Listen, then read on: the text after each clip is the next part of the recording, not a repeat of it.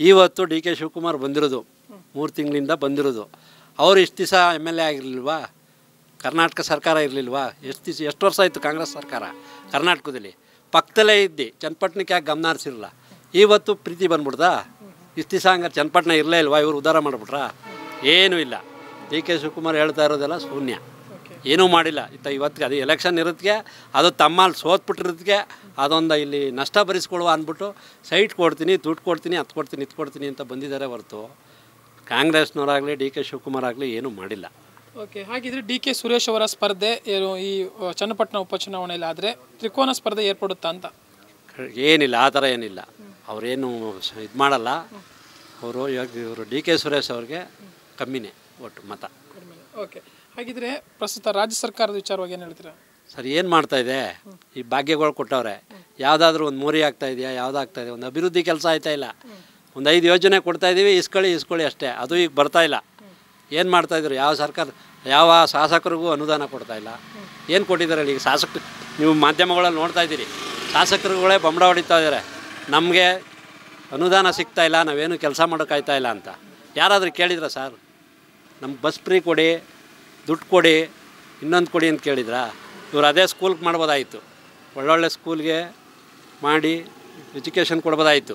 ಹಾಸ್ಪಿಟ್ಲ್ಗಳಿಗೆ improve ಮಾಡಿ ಆರೋಗ್ಯ ಕೊಡ್ಬೋದಾಗಿತ್ತು. ಇನ್ನೂ ಹಲವಾರು ಡೆವಲಪ್ ಮಾಡುವಂಥವಿದ್ದೋ ಇವರು ಜನಗಳಿಗೆ ಮಂಕ್ಬೂದಿ ಹರ್ಚಿ ನಿಮ್ಗೆ ದುಡ್ಡು ಕೊಡ್ತೀವಿ, ಇದು ಕೊಡ್ತೀವಿ ಅಂತ ಸೋಂಬೇರಿತನ ಕಡೆಗೆ ಎಲ್ಲ ಹಾಳು ಮಾಡಿ ಕುಂಡಿಸೋರು ಅಷ್ಟೇ.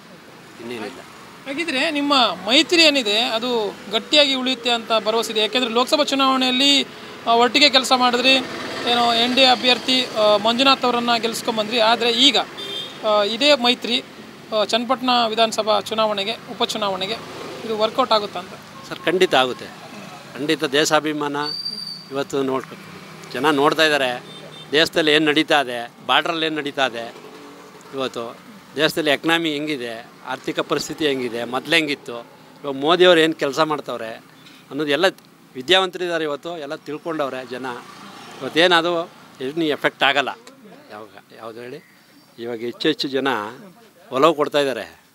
ನಮ್ಮ ಇಂಡಿಯಾ ಈ ಡೆವಲಪ್ಮೆಂಟ್ಗೆ ಯಾರು ಕಾರಣ ಜನಗಳಿಗೆ ಗೊತ್ತಿದೆ ತಿಳುವಳಿಕೆ ಇದೆ ಆದಷ್ಟು ಇಲ್ಲಿ ಎಷ್ಟು ಮತಗಳಿದೆ? ಸರ್ ಯಾರ ಪರವಾದ ಒಲವು ಹೆಚ್ಚಾಗಿದೆ? ಸರಿ ಎರಡು ಸಾವಿರದ ಐನೂರು ಮತ ಇದೆ. ಲಾಸ್ಟ್ ಟೈಮು ಸಾವಿರದ ನೂರ ಒಂದು ಮಂಜುನಾಥ್ ಅವ್ರಿಗೆ ಲೀಡ್ ಕೊಟ್ಟಿದ್ದು ಮೈತ್ರಿಲಿ. ಕಾಂಗ್ರೆಸ್ಗೆ ನಾನ್ನೂರ ಐವತ್ತೊಂಬತ್ತು ಓಟ್ ಬಿದ್ದಿತ್ತು. ಬರುತ್ತೆ ಈ ಸರ್ ಏನು ಇನ್ನೊಂದು ನೂರು ಇನ್ನೂರು ಜಾಸ್ತಿ ತಗೋತಾರ? ಅಷ್ಟೇ. ಬರುತ್ತೆ ಏನು ತೊಂದರೆ ಇಲ್ಲ ನಮ್ಮೂರಲ್ಲಿ. ಹಿಂದಿನ ಶಾಸಕರು ಎಚ್. ಡಿ. ಕುಮಾರಸ್ವಾಮಿ ಅವರು ಚನ್ನಪಟ್ಟಣಕ್ಕೆ ಕೆಲಸವನ್ನು ಮಾಡಿದ್ರು. ಸಾಕಷ್ಟು ಕೆಲಸ ಮಾಡಿದ್ದಾರೆ. ರೋಡ್ ಇರ್ಬೋದು ರೋಡ್ ಒಂದೂ ಸರಿ ಇರಲಿಲ್ಲ. ರೋಡ್ ಅಭಿವೃದ್ಧಿ ಮಾಡಿದ್ದಾರೆ. ಆರುನೂರ ನಾನ್ನೂರೈವತ್ತು ಕೋಟಿ ಪ್ರಾಜೆಕ್ಟ್ ತಂದಿದ್ದಾರೆ. ಇಗ್ಲೂರಿಂದ ಇದರಿಂದ ಸತ್ಯಾಗ್ರಹ ಸೇತುವೆಯಿಂದ ಇನ್ನೂ ನಡೀತಾ ಇದೆ ಇದು. ತುಂಬ ಹಲವಾರು ಕಾಲೇಜ್ ನೋಡ್ಬೇಕು ನೀವು ಚನ್ನಪಟ್ಟಣದಲ್ಲಿ. ಯಾವ ಥರ ಇತ್ತು ಯಾವ ಥರ ಆಗಿದೆ ಅಂತ. ಎಲ್ಲ ಹಲವಾರಲ್ಲ ಎಷ್ಟೋ ವರ್ಷಗಳಿಂದ ಬಿದ್ದಿದ್ದನ್ನ ಕುಮಾರಸ್ವಾಮಿ ಅವರು ನೆನೆಗುದಿಗೆ ಬ ತಗೊಬಂದು ಎಲ್ಲನೂ ಸಾಕಾರ ಮಾಡೋರೆ. ಅದರಲ್ಲೇನು ಎರಡು ಮಾತಿಲ್ಲ. ಕುಮಾರಸ್ವಾಮಿ ಅವರು ಉತ್ತಮವಾದ ಕೆಲಸನೇ ಮಾಡೋರೆಲ್ಲ ಓಕೆ ಯೋಗೇಶ್ವರ್ ಅವರು ಸ್ವತಂತ್ರವಾಗಿ ಸ್ಪರ್ಧೆ ಮಾಡಿದ್ರೆ ನಿಮ್ಮ ಎನ್ ಡಿ ಎಗೆ ಎನ್ ಡಿ ಎಂದ ಯಾರು ಅಭ್ಯರ್ಥಿ ಮಾಡ್ತಾರೆ ನಿಖಿಲ್ ಕುಮಾರಸ್ವಾಮಿ ಅವರು ಮೇಜರ್ ಆಗಿರುವಂಥ ಹೆಸರು ಅವ್ರನ್ನ ಅಭ್ಯರ್ಥಿಯಾಗಿ ಮಾಡಿದ್ರೆ ಅದು ಡ್ಯಾಮೇಜ್ ಆಗಲ್ವಾ ಎನ್ ಡಿ ಎಗೆ ಅಂತ? ಸರ್ ನಾನು ಈಗಾಗಲೇ ಹೇಳಿದೆ ಜೆ ಡಿ ಎಸ್ಸಲ್ಲಿ ಕಾರ್ಯಕರ್ತರು ನಿಲ್ಲಿಸಿ ಅರವತ್ತೈದು ಸಾವಿರ ಓಟ್ ತಗೊಂಡಿದ್ರು. ಕಾರ್ಯಕರ್ತರು ನಿಲ್ಲಿಸಿ ಓಕೆ. ಕುಮಾರಣ್ಣವರು ಆದಷ್ಟು ಕೆಲಸ ಮಾಡಿದ್ದಾರೆ. ಅವರು ಸುಮ್ಮನೆ ಕೂತಿರಲಿಲ್ಲ ಬಂದು. ಎರಡು ವರ್ಷ, ಎರಡು ಟರ್ಮ್ ಗೆದ್ದು ಸುಮ್ಮನೆ ಇರಲಿಲ್ಲ. ಸಾಕಷ್ಟು ಅಭಿವೃದ್ಧಿಗಳು ಮಾಡವ್ರೆ ಅವ್ರ ಅಭಿವೃದ್ಧಿಗಳಿಗೂ ಜನ ಸಹಕಾರ ಕೊಡ್ತಾರೆ.